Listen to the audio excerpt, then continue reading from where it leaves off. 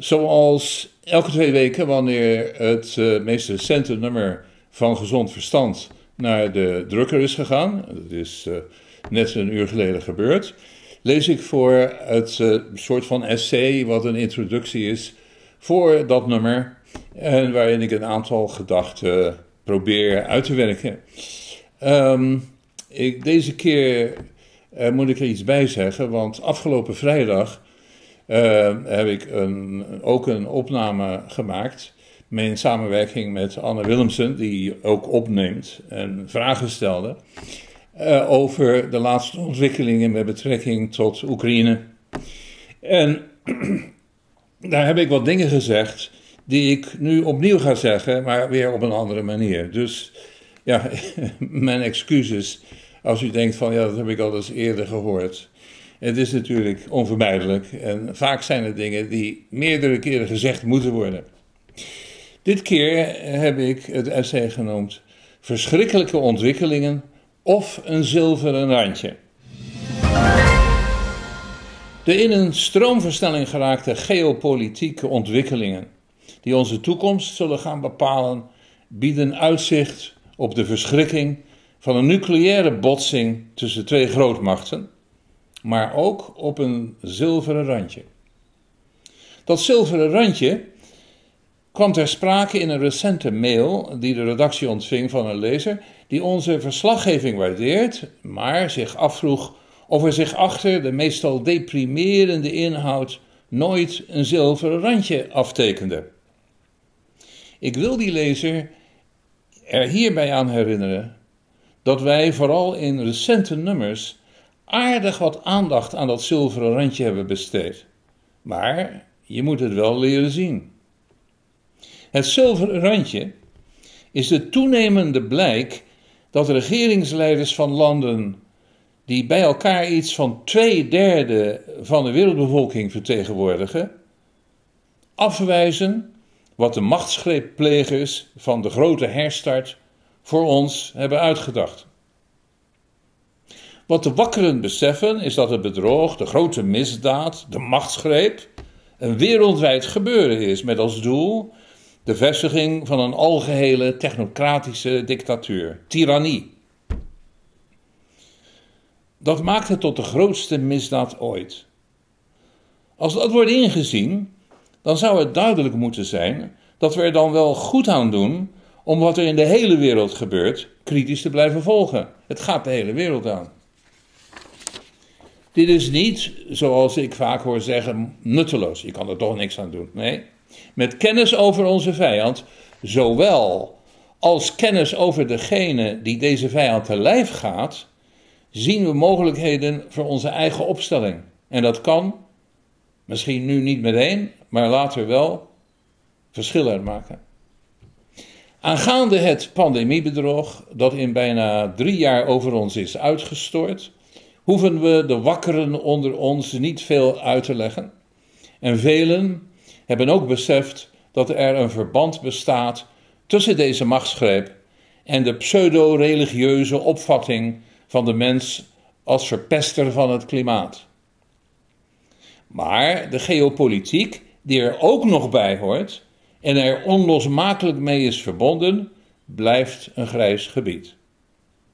Ik merk dat steeds wanneer ook lezers van gezond verstand iets zeggen in de trant van toch niet weer Poetin. Het probleem van het niet zien heeft te maken met het feit dat het zien van de hoofdrolspeler bij dat zilveren randje een dilemma oplevert. Want dat is Poetin. De ontegenzeggelijke leider van de grootmacht die botst met de grootmacht waarmee wij in Nederland samen met het overgrote merendeel van de rest van Europa als vazallen en aanhangers van de NAVO zijn verbonden. Hij is ook de ontegenzeggelijke leider van de verschillende organisaties die deze op het behouden van hun soevereiniteit gestelde naties verspreid over delen van Azië, het Midden-Oosten en Afrika samenbinden. Zonder hem zouden die landen op iemand anders hebben moeten wachten met het diplomatieke genie om zoiets voor elkaar te krijgen. Nu hoor ik in gedachten reacties als: daar heb je hem weer met zijn Poetin. Of de redactie heeft gewoon weer informatie van het Kremlin door. Dat kennen we van e-mails en commentaar op de video's over de inhoud van ons blad, zoals deze video. Ik lees vaak dat Poetin ook geen lievertje is. Maar daarmee is men van onderwerp veranderd, nog afgezien van het feit dat die constatering uitsluitend gebaseerd is op een decennium van onophoudelijke, schrille propaganda, die in, recente maanden, in de recente maanden hysterische hoogtepunten heeft bereikt. Met dag in, dag uit meldingen van wat voor een beest Poetin wel niet is. Ik vergeleek dat in een eerder nummer van Gezond Verstand met het effect van sigarettenrook die in je kleren gaat zitten en die je niet uit de stoelbekleding van je auto kan krijgen. Propaganda heeft datzelfde effect. Je, je, je leeft erin, je, je, je komt er niet los van. De essentie van de bovengenoemde verschrikking, die in de titel van dit stuk staat, is niet het dreigen van Poetin om kernwapens in te zetten, maar de verstandelijke vermogens van de Amerikaanse president, zoals u in twee artikelen verderop kan lezen. Poetin heeft zo'n dreiging nooit geuit, alleen de propaganda zegt dat. De nucleaire optie en de first strike capability, waarbij de tegenstander in één klap onschadelijk gemaakt kan worden, hoort bij het steeds weer terugkerende discussie, de, de steeds weer terugkerende discussie onder de Amerikaanse neoconservatieven. Op 6 oktober bracht Biden het vooruitzicht op Armageddon nog te berden tegenover een groep democratische donoren in New York. Langs formele en informele wegen wordt het Amerikaanse volk deze dagen ingepeperd dat het nucleaire initiatief bij Poetin zal liggen.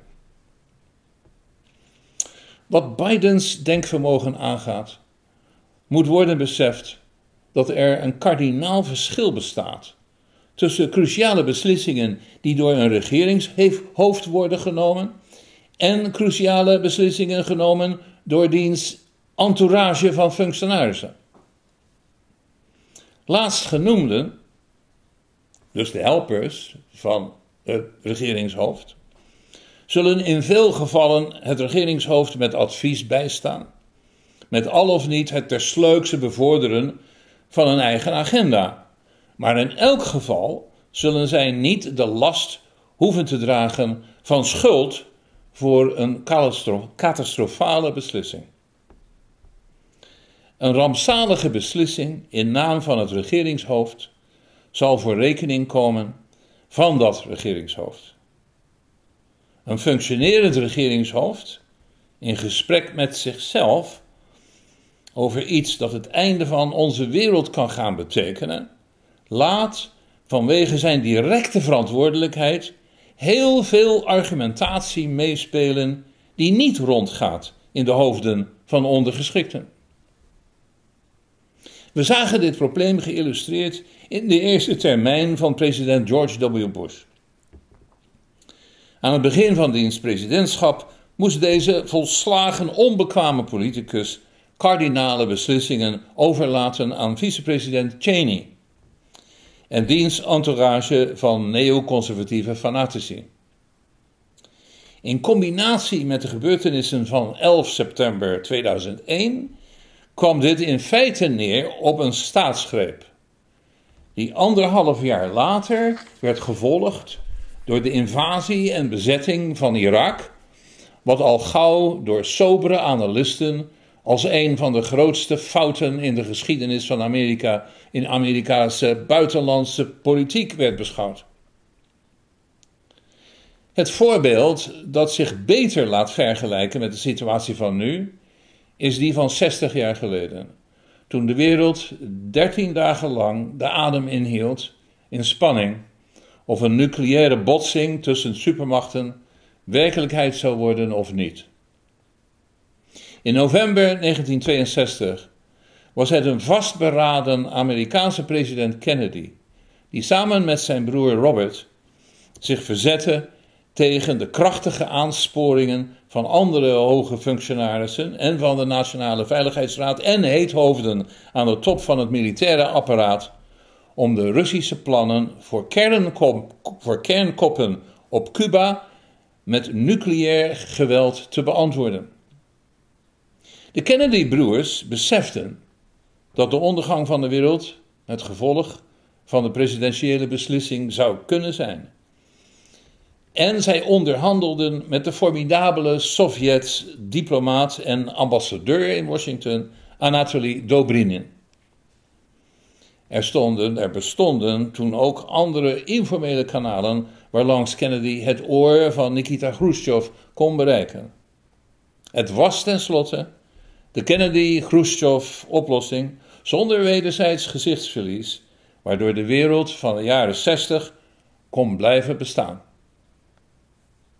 Vergelijk deze bij de Cubaanse raketcrisis betrokken staatslieden met Biden, Blinken, Liz en Ursula von der Leyen. En men ziet ogenblikkelijk hoe Vladimir Poetin torenhoog boven de Atlantische politici uitsteekt.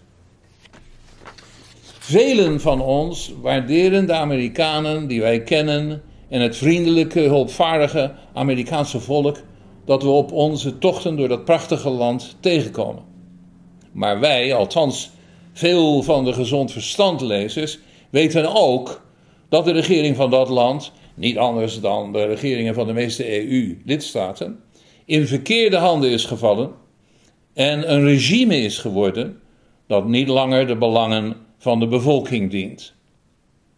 Vanwege de belangen van de die verkeerde handen dienende gevestigde media, die hun nieuwsberichten politiek sorteren, gaat veel van wat er in de wereld gebeurt ongemerkt aan het bredere publiek voorbij. Het einde van de petrodollar als basis van hegemonische macht is wel door sommige mainstream financiële analisten opgemerkt. Maar hoe ingrepen van Poetin als reacties op de tegen hem begonnen sancties daar de oorzaak van waren, slaan ze vaak over. Vanuit geopolitiek oogpunt ondergaat de wereld een verschuiving van tektonische plaatsen die nog nauwelijks tot het Westen is doorgedrongen. De topconferentie van leden van de Shanghai Corporation Organization in Samarkand, bijgewoond door vertegenwoordigers van landen die er lid van willen worden, mag als een aardbeving, dat is natuurlijk een bewijs van tektonische verschuivingen, worden beschouwd. Overeenkomsten en verdragen over nieuwe infrastructurele transportverbindingen en algemene samenwerkingsprojecten die het mondiale handelsverkeer zullen veranderen, waren daarvan het resultaat. Zonder Poetin zou een dergelijke integratie van veel vroeger elkaar naar het leven staande staten op het Eurasiatische continent niet hebben plaatsgevonden. Een dag voordat ik dit schreef, vond in Astana, Kazachstan, een top van de Conference of Interaction and Confidence Building Measures in Asia, de SICA, plaats. Het belangrijke daarvan is dat het de samenwerking tussen de verschillende moslimlanden van het continent zal gaan bevorderen. Daarbij is Poetin opnieuw de sleutelfiguur. Maar er is overeengekomen dat het SICA van een internationaal forum zal veranderen in een volledige internationale organisatie die zal gaan samenwerken met de Eurasiatische Economische Unie voor stroomlijning van regionale economische ontwikkeling en integratie. Iets heel belangrijks gaat aan de door de gevestigde media geïnformeerde wereld voorbij. De spirituele kant van Vladimir Poetins beweegreden. In zijn toespraken komt hij vaak genoeg naar voren. Hij ziet de strijd met het Westen als een beschavingsconflict. Ontstaan doordat het Westen de eigen beschaving niet langer in ere houdt.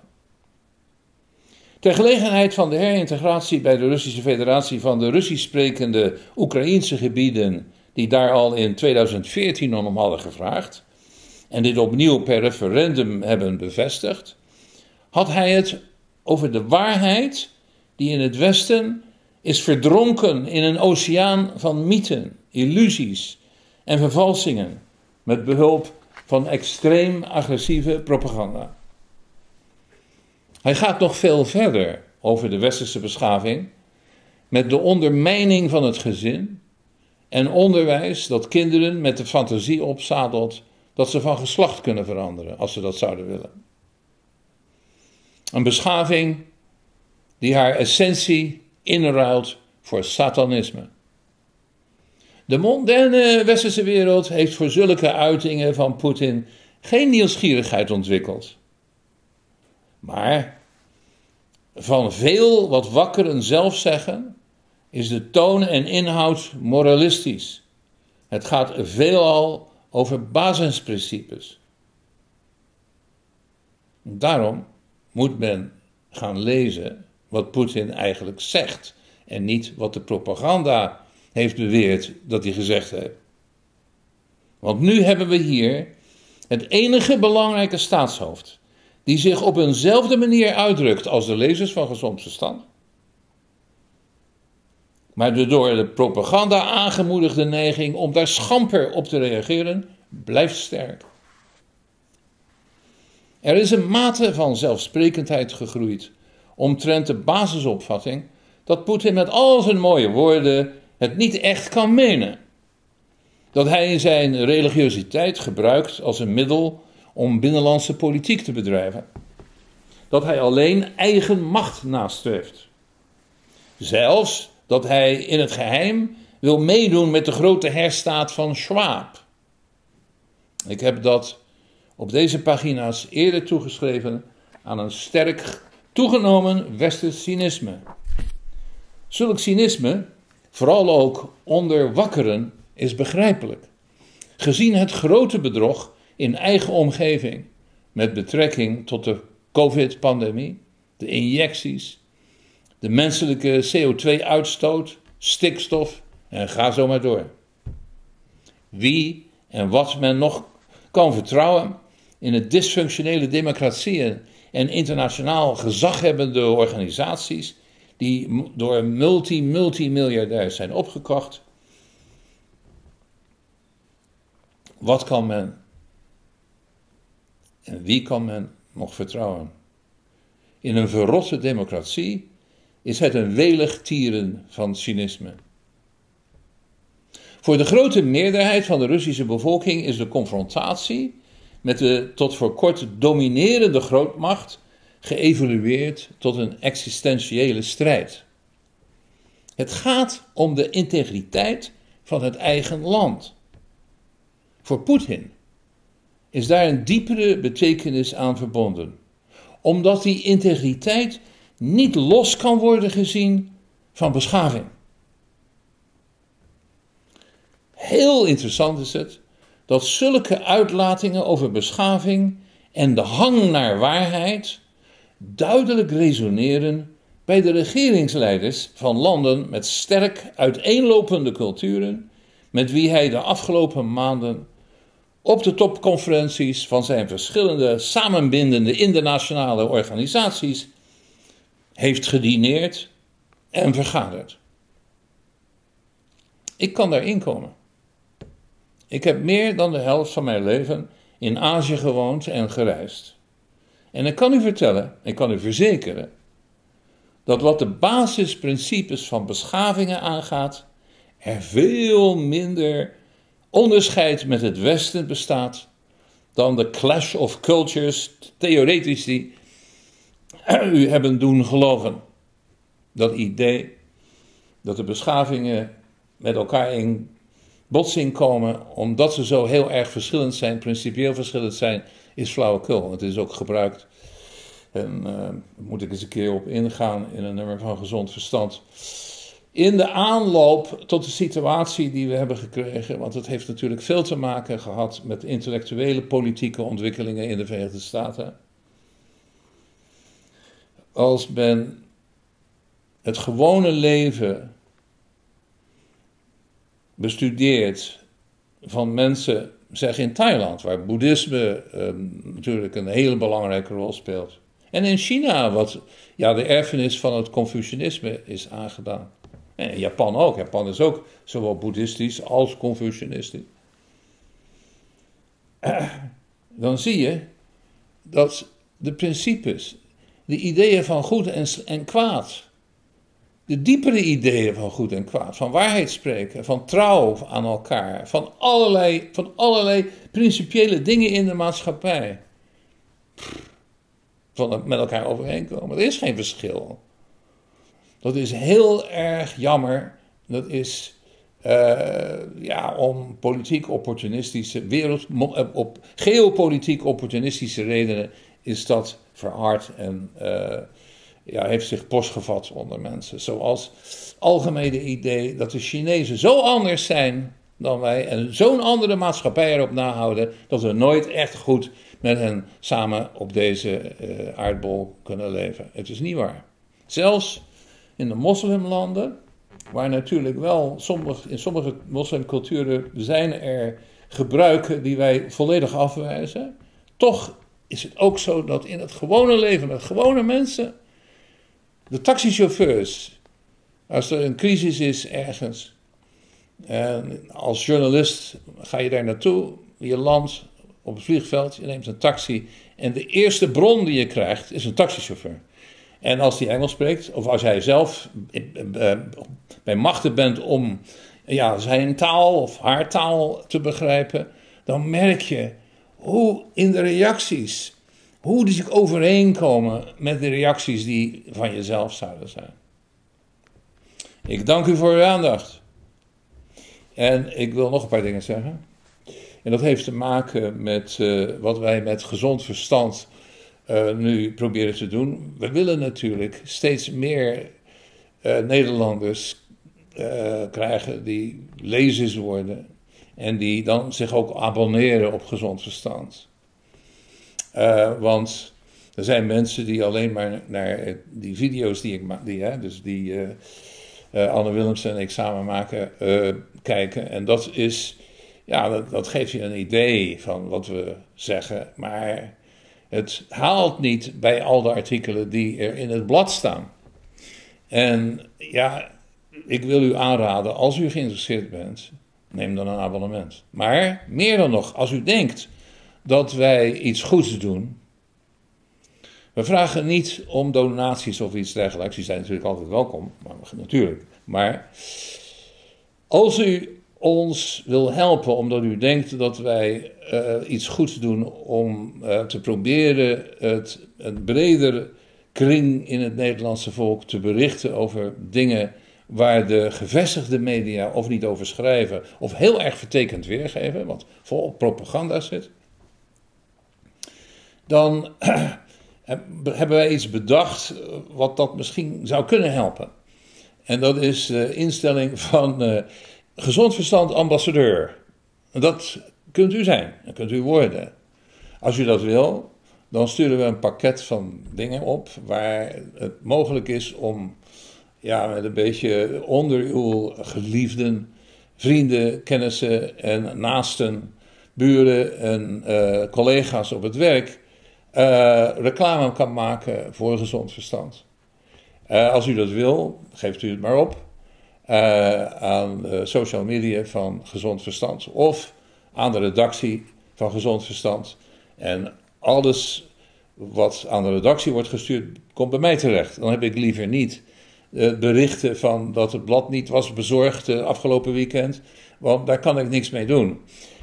Ik wil wel graag berichten ontvangen van mensen die willen meehelpen. Op dit gebied, wat ik net noemde, maar ook natuurlijk altijd weer opnieuw onderzoekers en schrijvers die zich interesseren voor de onderwerpen die wij aansnijden. Nogmaals, het zijn echt alleen maar de onderwerpen die niet behandeld worden of heel slecht vertekend behandeld worden door de gevestigde media. En het is wel het allerbelangrijkste wat ons overkomt. Het is wel het allerbelangrijkste om in gedachten te houden uh, voor wat er met deze wereld, de wereld ook van onze kinderen, zal gaan gebeuren. Als u wil helpen, uh, stuur dan uw boodschap naar redactie gezondverstand.eu. Belangrijk hoor, dat EU aan het einde. Redactie gezondverstand.eu. Ik hoop van u te horen. Nogmaals, dank u voor de aandacht. you